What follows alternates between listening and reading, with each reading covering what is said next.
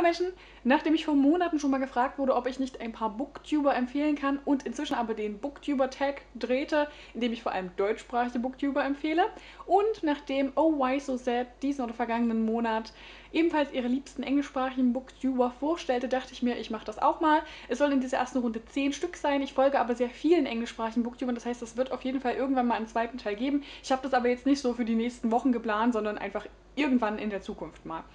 Und dann geht es auch schon los mit Climb the Stack. Sie ist inzwischen auch schon etwas größer geworden, also ich glaube, sie hat so 10.000 Abonnenten, das heißt, viele von euch könnten sie vielleicht schon kennen. Ihre Hauptrichtung sind Memoiren und ansonsten liest sie aber einfach sehr, sehr viel Literary Fiction und immer zwischendrin auch mal ein paar Klassiker. Was ich bei Iso mag, ist, dass sie wirklich anspruchsvolle Literatur liest, aber das trotzdem so zur Unterhaltung. Also man hat nie das Gefühl, dass sie sich hinstellt und sagt, ach, jetzt habe ich wieder den Klassiker gelesen, sondern sie liest es, weil sie es interessiert und sie geht da ganz äh, natürlich und locker heran. Was ich aber vor allem erwähnen möchte, ist, dass ich der Meinung bin, sie hat die besten Rezensionen überhaupt. Die sind intelligent und vielschichtig und wenn sie zehn Minuten lang redet, dann sind das zehn Minuten voller spannender, gut formulierter Analyse. Wirklich absolut empfehlenswert, meiner Meinung nach. Und ich versuche von ihr auch immer noch zu lernen, denn manches formuliert sie auch schnell und gut und kompakt, was ich immer noch nicht so gut kann. Ähm, aber meiner Meinung nach ganz, ganz tolle Rezensionsvideos. Was ich auch mag, ist, dass sie sehr unaufgeregt und still ist. Sie sitzt auch immer nur vor ihrem Regal. Ähm, es gibt von ihr früher ein paar Videos über Minimalismus, ähm, was ich auch sehr angenehm und interessant finde, dass es wirklich bei ihr um die Bücher geht. Kein großes Pomborium, sehr, sehr sympathisch. Meine zweite Empfehlung geht in eine andere Richtung, nämlich Books and Pieces. Sie liest vor allem Science Fiction und in Abständen auch immer mal so ein bisschen Fantasy zwischendurch, aber ich habe das Gefühl, Science Fiction ist ihre Hauptrichtung. Dabei muss man aber sagen, dass es wirklich eher so die Erwachsenenliteratur ist, für das sie sich interessiert. Und bei ihr habe ich wirklich das Gefühl, sie weiß, wovon sie redet. Sie hat so viel Hintergrundwissen immer dabei, ähm, redet auch über die Motive und Themen und hat auch mal eine ganze Serie über die Geschichte der Science Fiction gemacht, dass man wirklich das Gefühl hat, hier sitzt nicht und jemand sagt, hier, diesen Science-Fiction-Roman, den fand ich gut, sondern sie erzählt wirklich etwas darum und was das auch heutzutage noch für uns bedeutet. Was ich auch interessant finde, ist, dass ich ja meistens eher die ruhigen Booktuber mag und sie ist äh, im Gegenteil, sie ist sehr lebendig, äh, aber auf eine angenehme Art. Das heißt, ich finde, sie ist nicht so flippig, klamaukig wie manche andere. Ich meine, ich glaube, jeder von uns kennt das irgendwie, diese Booktuber, die auch ständig immer Jumpcuts haben und dann immer so sind. So ist sie nicht, aber sehr, sehr extrovertiert, sehr lebendig, ist auch mal eine schöne Abwechslung. Und wie gesagt, inhaltlich Science Fiction, ähm, die aber wirklich auch was auszusagen hat, meiner Meinung nach. Als nächstes möchte ich euch einen der wenigen älteren Herren hier auf Booktube empfehlen, nämlich The Poptimist. Bei ihm finde ich vor allem toll, dass er genau meinen Humor trifft. Ich bin ja nicht so einer, der ständig am Lachen ist, aber das ist genau das, was ich lustig finde. Er blendet dann auch immer so GIFs oder kleine Bilder ein, während er weiterredet und über das Buch erzählt und das passt immer so gut und äh, ist genau mein Humor. Ähm, was ich auch mag, ist, dass er schnell redet und wirklich auf den Punkt gebracht. Seine Rezensionen sind selten länger als vier, fünf Minuten und er liest vor allem Gegenwartsliteratur, also englische, englischsprachige Gegenwartsliteratur. Da findet man auch immer wieder etwas, ähm, hat jetzt viel auch so meinen Booker-Preis auch ein bisschen mitgelesen und hauptsächlich Sachen, bei denen ich schon das Gefühl habe, es ist Unterhaltungsliteratur, aber wirklich anspruchsvolle, gute, interessante. Dann freue ich mich, dass ich euch wieder jemanden empfehlen kann, der sehr, sehr lange stumm war, aber jetzt endlich zurück, und zwar One Small Paw. Sie ist definitiv diejenige, die mir so damals, vor zwei Jahren, würde ich sagen, am meisten so über African American Literature beigebracht hat. Sie hatte da, glaube ich, auch mal eine Serie dazu und hat viel über James Baldwin geredet. Und sie ist unter anderem auch diejenige, falls ihr euch erinnert, in meinem Statistikvideo für 2015 habe ich gesagt, dass ich nicht mehr so etwas zähle wie Hautfarbe, wie viele ich davon gelesen habe und so bla bla bla. Und sie ist diejenige, die den Blog-Eintrag dazu geschrieben hat, der mich da zum Umdenken bewegt hat. Ich werde es euch auch mal verlinken. Äh, die Kanäle sind natürlich auch alle unten verlinkt, aber vor allem den Blog-Eintrag. Und von ihr habe ich einfach allgemein so viel gelernt, habe ich das Gefühl, in diese Richtung. Als nächstes möchte ich euch jemanden empfehlen, der vermutlich auch schon etwas größer ist, nämlich Jen Campbell. Bei ihr finde ich vor allem, sie ist so ein herzensguter, netter Mensch. Und inhaltlich sind auf ihrem Kanal viel Lyrik, magischer Realismus und so Märchen, auch Märchen-Neuerzählungen und dergleichen. Und sie hat halt auch so eine, eine offene Art. Es gibt ein ganz, ganz großartiges Video mit Just Kiss My Frog, in dem sie über ihre Behinderung redet oder ihre Krankheit, ähm, was ich euch auch verlinken werde. Und interessant ist auch, dass sie Autorin, Buchhändlerin und Booktuberin ist, dass sie also aus allen drei Bereichen so ein bisschen ihre Expertise mit reinbringt und über alle drei Bereiche auch erzählt.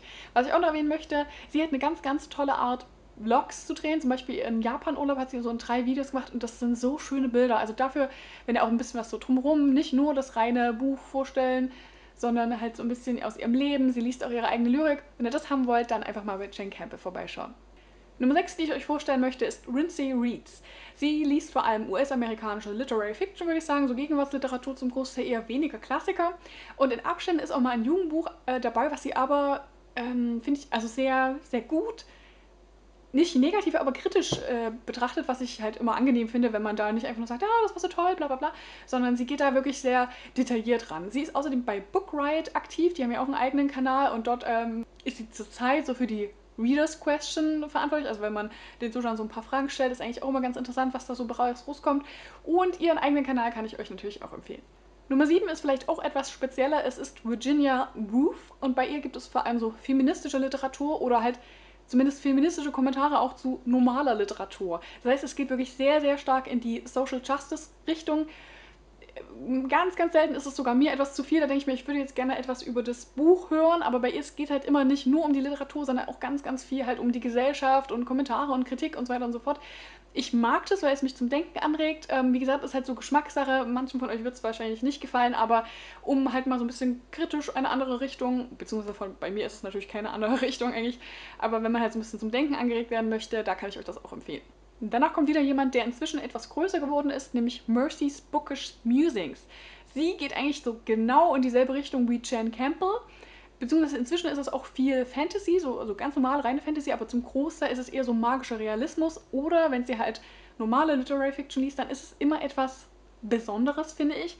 Also mir fällt auch ganz oft auf, dass dieser Kreis so rund um Jane Campbell, wenn man mal ehrlich ist, ganz, ganz viel das Gleiche liest. Aber es sind halt trotzdem Sachen, die ich außerhalb Booktubes nie höre oder ganz, ganz selten. Also insofern ist es natürlich trotzdem schön, das zu hören, auch wenn man, wenn man allen folgt, vielleicht Dinge immer dann doppelt und dreifach sieht, weil irgendein Hype gestartet wird.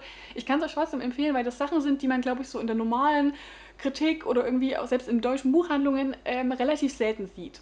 Als vorletztes möchte ich euch My Name is Marinette empfehlen.